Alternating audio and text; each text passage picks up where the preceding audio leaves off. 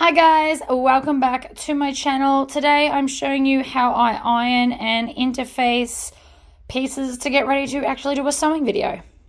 Let's get started. Alright guys, welcome to my current ironing table setup. Um, this is just a cabinet, you can't really tell, but it's just a cabinet. I actually got this off the side of the road uh, in hard rubbish, which is awesome. I love just recycling and repurposing stuff. So this is an NCW that I need to make and I just thought I'd show you how I iron them in my new setup. So I've got two rolls of stuff. This is my medium woven. I've also got my non-woven heavy interfacing up there. Uh, so for, these are also, they slide along so you can adjust it to where you need. In a perfect world, I would have kept my longer cabinet because then it's the full width of fabric, but we can't win them all. So the first thing I'm going to do is I always try and line it up as close to the edge as possible so I waste as little as possible. And then I'm going to take one of my Teflon sheets and I'm going to iron heavy onto the inside piece. Um, different people do it different ways. This is what I have found works best for me. I like the outer shell to be thick. I also always put rivets in them. So if you're not riveting, you might want to use a lighter interfacing because then you're to have to sew through it. But I always use rivets anyway, so, or when there's vinyl on the outside. When it's all fabric, I stitch the sides. But when I'm using vinyl on the outside, because this is going to match the bag that we're to make with it, I'm to do it this way. So from here, I usually have a tub, but I'm out. We take the scissors. I've always got a pair of scissors here now, and I just cut it directly off any dodgy bits like this here, this is useless, so I will cut it off and throw it in the bin. What I personally do is make a pile because the bin's not next to me. Um, if I'm doing lots and lots of ironing, I will actually drag the bin over because it works out way easier. Like if I'm ironing two or three bags at a time, the iron here is much easier. So I just cut off those bits. I do know that sometimes people would still use them. That's not me. I like solid interfacing under my stuff. Now, sometimes on the edges specifically, it might not be as well stuck. So th these edges, I can tell you right now, they're not stuck down properly and well. So I'm going to roll that up because I'm finished, well, I'm not finished with that, but I'm just going to roll it up, flip it over, and steam iron it from the back. Personally find that this works out the best way for me. And then that way, it's all wonderfully stuck together. So that's now the lining, or your outside, or both. So that's those bits done. We can pop them aside. I also need to do the zipper card section, which there should be two of these. Oh, I clearly missed a bit, but that's all right. Again, add it to the rubbish pile. So I'm going to line it up I like to have minimal waste if it's at all possible. It's not always possible, like because there's curves, you're always going to get these weird pointy bits. I will just cut them off as I go. It's fine. I usually do four to eight seconds and then move this around. Um, another way, I know not everybody likes doing this. I know a lot of people cut it out first. I have just personally found that this works best for me. Um, if I didn't have the ironing board, I'm just going to cut all the way across for that. If I didn't have the ironing board, I would have these on a roll and this would then be a cutting board and I could cut all the shapes here and then put them in the heat press.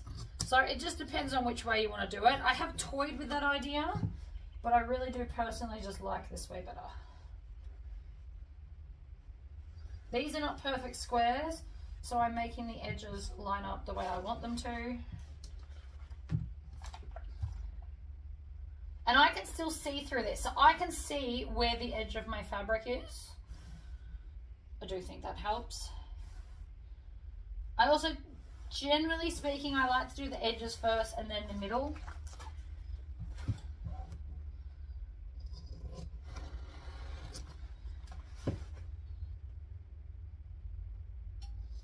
Chop that off. And then again, I'm gonna flip them over and just give them a quick steam iron just to make sure they don't sit because, uh, don't lift because they're gonna sit for, I don't know what video I'm gonna do today. I might do this. I might not even record this. I might just have it as part of the set. Okay, so what's left is, I don't iron the zipper pocket pieces, so they won't get an iron but I will put interfacing on the back of the card slots. So that will be this stuff here, which is the medium woven. So again, line it up, smooth it down. If you find that your fabric has like folds and creases in it, iron it first and then iron it to your interfacing so you don't get weird bits. The steam iron was on then, which was not meant to happen, but it happens. Sometimes I do just forget.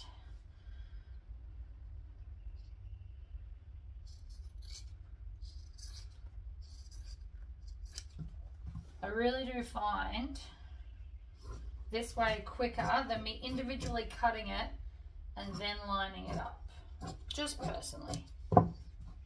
Okay, take those bits, add them to the rubbish pile, Again, if you want to, we can steam the back of this.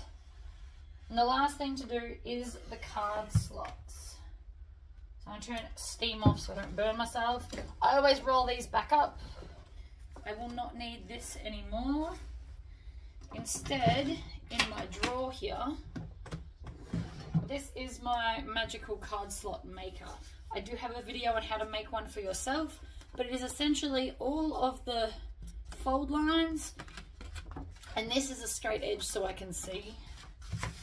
You, you can just use the edge if you want to. Um, I really enjoy having the line there though. So what I'm going to do is I'm going to line it up against the top edge and that side line. And I always like to have two clips. And apparently I always accidentally grab red, but whatever. So then I, I use my fingernails, again this is why I love them, and I'm going to kind of smooth the fabric down and then go up to that first crease and then we're going to bring it down like that and I'm going to iron that first crease. We also, if you heat up the fabric, it might go a little bit easier as well. So we're going to fold up and down, up and down. You know, make sure they're all lined up at the edge. Now I can tell you right now, mine are See how they're slightly out? That matters. So we're to go back and fix it. Sometimes it doesn't take much. Once they're all folded, I'm to come down and shoot it with steam. If your iron has that option, awesome. If not, you're just to have to hold it there a bit longer. Because the thicker parts, it's harder to get the heat down. So now I'm to put my fingers like this and just gently pull it away so that everything's still where it needs to be. And then we're gonna shoot it with steam a second time. Now, depending on what fabric you've used, this is a woven with no interfacing, so it's pretty easy to do. Um, also, using my thin waterproof canvas makes this very, very easy. You don't even need to use steam. Card slots achieved. If you've interfaced yours, which you might want to, who knows? It will take more heat and steam and time to crease it properly. So I'm just going to do it again because I've got another one here. So you can, if you want to, basically iron slash stick it to the fabric, uh, to the cardboard. And then we're just going to fold and fold and fold. Now these do over time go crap can't be helped. Um, residue and the constant steam will eventually make it um, like soggier. So you do have to remake them a couple of times, but it depends on how many you make. So this particular template works for the NCW, my Harridan pattern, my seductress pattern um, and probably some other people's stuff. card slots, generally speaking, all of this part is the same on every pattern. It's just how much of a top you have. So you could actually use this for other patterns that have more of a gap at the top um, because the card slot parts are always the same in all patterns. But there you go. That is now ironed, interfaced, ready to go. I can now go, got to go trim off the excess of this, but then we can just start sewing. Um, I hope that might give you some inspiration for your own. If you're wondering what's on the other side of here, it's my husband's shed. We don't open this door. I don't need his dust in here. All right, guys, I'll see you next time. Bye.